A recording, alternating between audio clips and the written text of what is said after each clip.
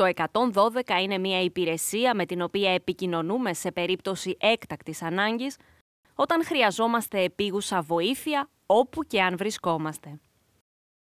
Για να λάβουμε βοήθεια παίρνουμε τηλέφωνο από κινητό ή σταθερό, στέλνουμε γραπτό μήνυμα ή email.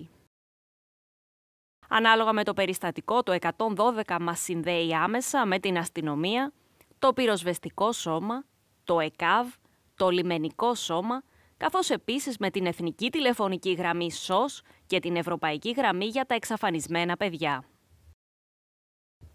Αρκεί όλοι εμείς να θυμόμαστε ένα νούμερο, 112. Είναι δωρεάν, λειτουργεί καθημερινά, μέρα και νύχτα, στην Ελλάδα και όλες τις χώρες της Ευρωπαϊκής Ένωσης. Υπουργείο Κλιματικής Κρίσης και Πολιτικής Προστασίας.